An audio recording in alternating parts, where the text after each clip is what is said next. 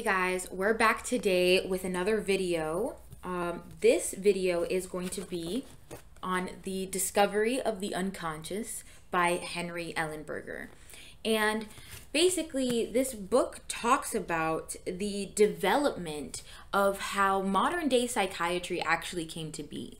Um, there's quite a bit of information in this book, and I'm very excited to jump into it with you guys. Um, so let's go ahead and start with the ancestry of dynamic psychotherapy. Long before the advent of modern psychiatric practices, we can track man's attempt to contend with illness of the mind. These ancient roots can be found in the form of medicine men and shamans of primitive man. At first, these primitive practices seemed to be the result of strange rituals connected with an ancient belief system. However, in the wake of modern day discoveries in the field of psychiatry, we can view these ancient practices in a new light. If we track the evolution of psychiatry back to its roots, we can see how the shamanic rituals of the distant past were man's attempt at a form of primitive psychotherapy. One of the first people to view these primitive practices in this new light was the German anthropologist Adolf Bastian.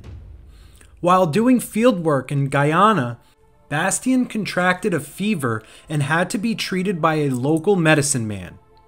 During the ceremony, he was put in a hammock and told to lay perfectly still.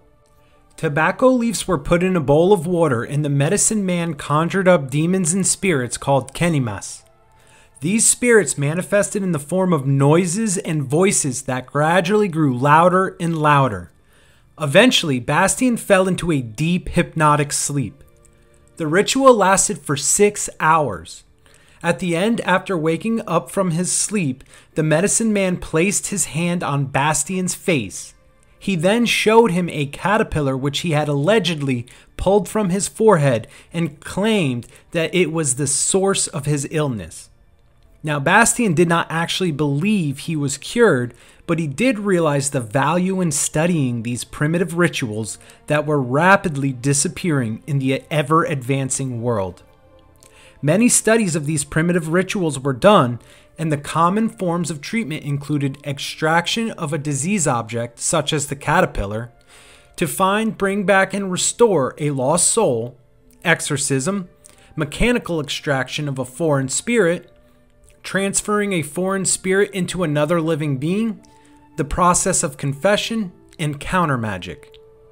As these rituals became better known, the psychiatrists of that time became interested in comparing the primitive view of these symptoms with their patients who were exhibiting severe hysterical symptoms, and attempted to explain these primitive illnesses and ritualistic cures in psychological terms. The ancient concept of disease being caused by the soul leaving or being stolen from the body can be traced back to primitive cultures all over the world. The common thread among all these primitive beliefs concerning the soul disease is that within man there is a ghost like soul and that its presence is essential for one to live a normal life. In his classic book, Taboo and the Perils of the Soul, the Scottish anthropologist James Frazer says, the soul of the sleeper is supposed to wander away from his body and actually visit the places, see the persons, and perform the acts of which he dreams. During the period in which the soul leaves the body, it could become lost or meet accidents or dangers of all kind and become trapped outside of the body.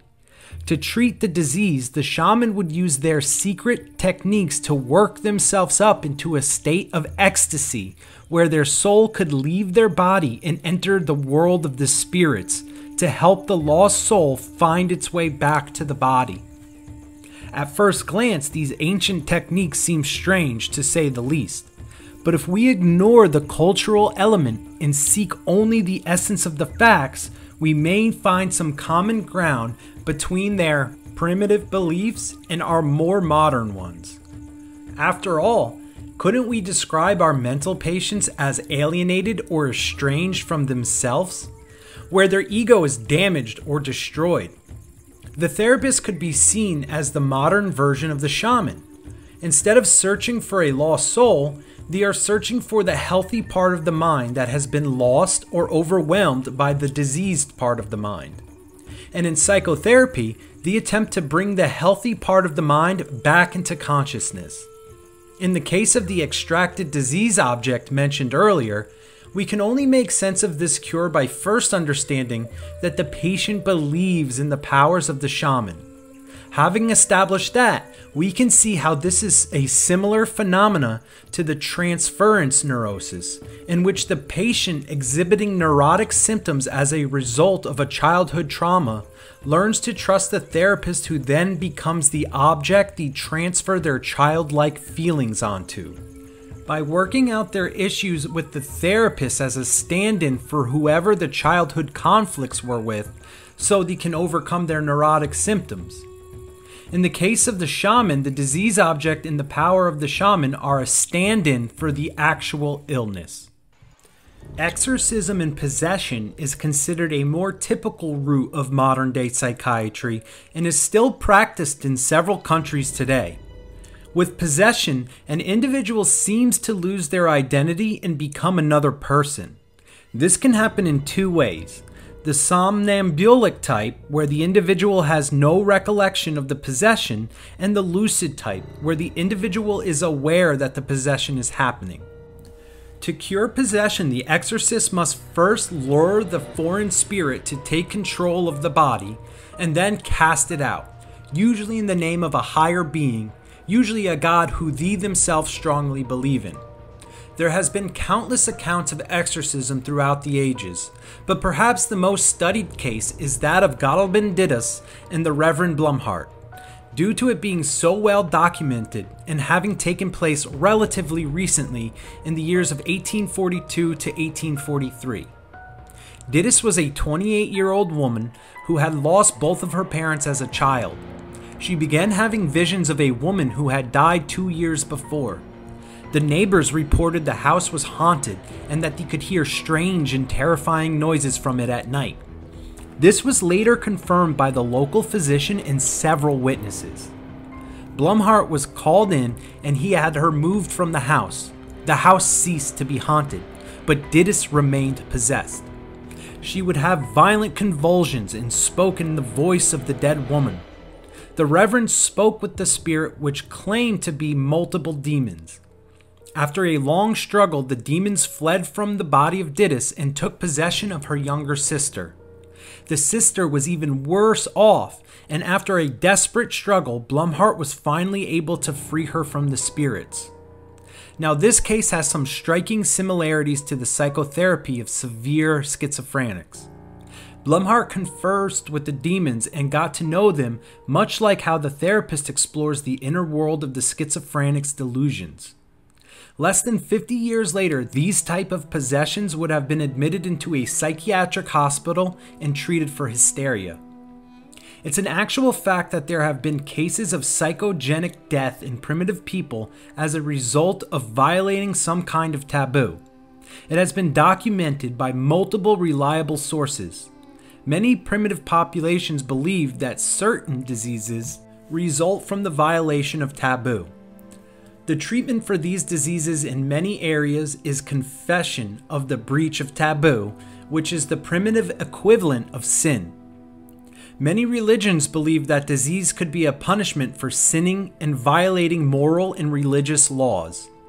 Religious confession was a way to achieve relief and often cures of the symptoms. This concept still exists today. Although psychiatry has abandoned the term sin, the concept has been replaced with the term guilt feeling and can lead to psychological and physical illness. For centuries, physicians have believed that the frustration caused by unfulfilled wishes could cause illness. This is where we get the terms homesick and lovesick from. The logical form of treatment is to fulfill the wish. However, depending on the wish, that was not always possible. Primitive man's solution to this problem was ceremonial healing. Take, for example, someone who is frustrated by their unfulfilled life and wishes to be recognized by their peers. The Bilo of Madagascar dresses the patient in extravagant clothes and has a ceremony where they coronate them and treat them like a king for 15 days.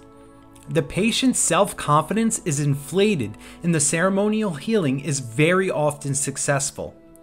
Another form of ceremonial healing calls for the patient to act out the traumatizing event that caused their illness. Today, we would call this psychodrama. There are many references to states of hypnotic sleep in primitive medicine.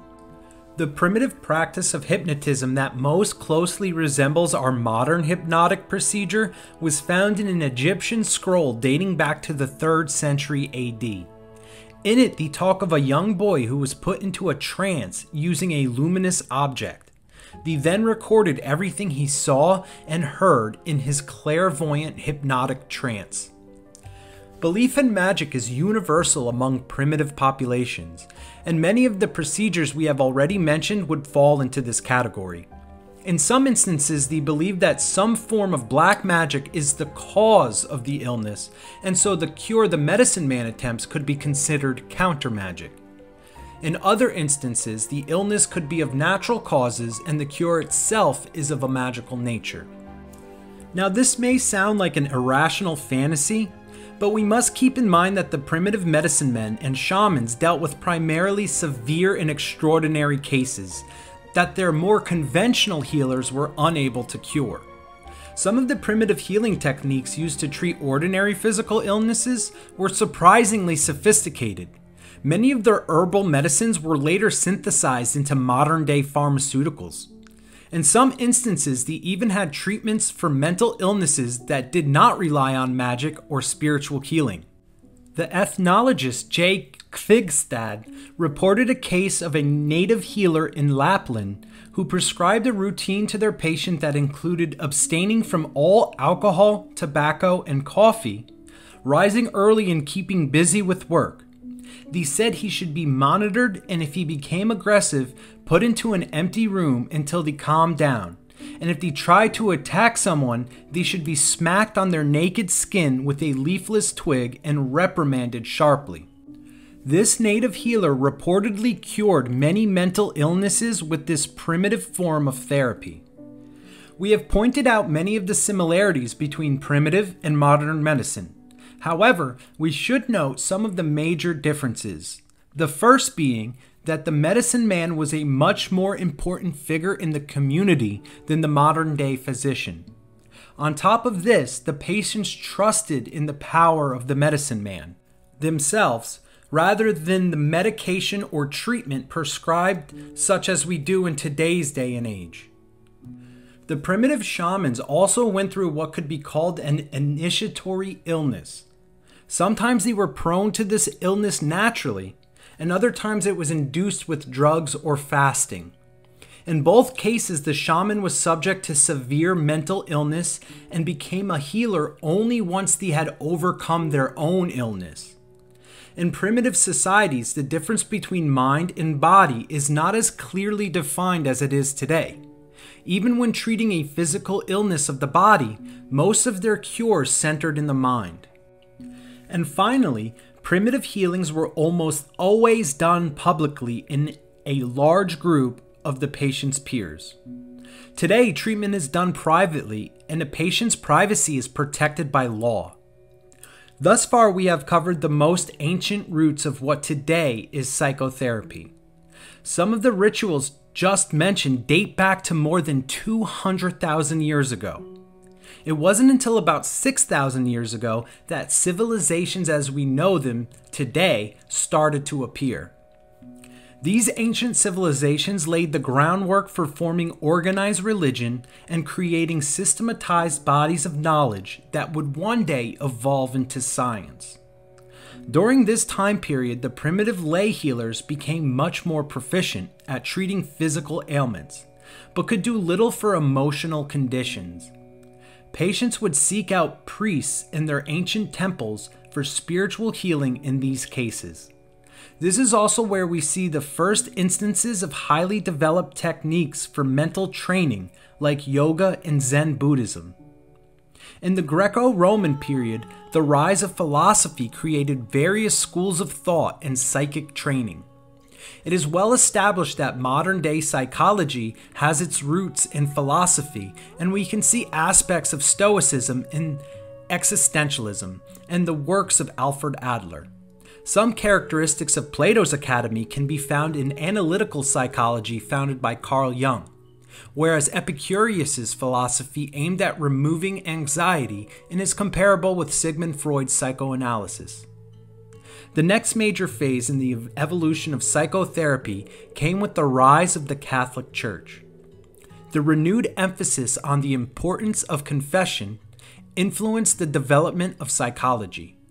The Catholic autobiography of St. Augustine's Confession reads like a psychological novel. The priest attempted to systematize their knowledge of psychology in their texts on moral theology. Much later, after the Protestant Reformation, the Protestant communities abolished confession. However, a new tradition rose up, commonly referred to as the cure of souls. This process not only involved the patient confessing their secret that was the source of their illness, but the priest would also be actively involved in coming up with solution to the patient's distressing problems, which is reminiscent of present-day short-term psychotherapy. Eventually, over time, this process of confessing the pathogenic secret passed from the clergy to laymen. When this happened exactly is unknown, but some of the earliest accounts of this transition were of the early magnetists, whom we will discuss in more detail in the next video. This magnetizer movement became popular in France after Armand Marie Jacques de Chastenet, Marquis de Puysegur, discovered how to induce a state of magnetic sleep, which was later called hypnosis. In 1784, Puysegur's first patient, Victor Race, was put into a state of magnetic sleep where he was able to reveal a secret of a terrible conflict with his sister that he would have never been able to bring himself to share in his normal state. Puysegur gave Race advice while in his magnetic sleep, which he followed during his normal state, which led to the conflict's resolution and his recovery from the mental illness it was causing. Similar cases such as this were reported everywhere during this early period of magnetism. The practice of magnetism became much less frequent in the second half of the 19th century, but in the 1880s and 1890s, there were still plenty of hypnotists using this same kind of treatment. The first medical professional that recognized the pathogenic secret and its psychotherapeutic treatment was the Viennese physician Moritz Benedikt. He published a series of cases between the years of 1864 and 1895, showing that many cases of hysteria and other neuroses could be caused by a pathogenic secret, mostly pertaining to their sex life and that many patients could be cured by the process of confession and working it out the issues. These discoveries carried over into the birth of modern dynamic psychiatry. Pierre Janet and Sigmund Freud both discovered cases of hysteria caused by unconscious pathogenic secrets. As Freud developed his psychoanalysis, this concept was gradually absorbed into the terms repression and neurotic guilt feelings.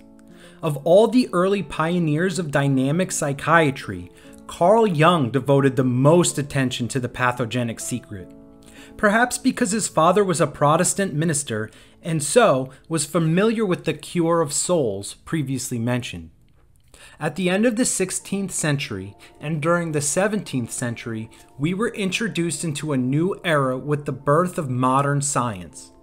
Earlier forms of science relied on observation and deduction, which is something closer to philosophy, whereas modern science relied on experimentation and measurement. Medicine became a branch of science, psychiatry a branch of medicine, and psychotherapy an application of psychiatry based on scientific findings. Historically, modern dynamic psychotherapy derives from primitive medicine, and we can see the uninterrupted evolution from exorcism to magnetism, magnetism to hypnotism, and from hypnotism to the modern schools of dynamic psychiatry.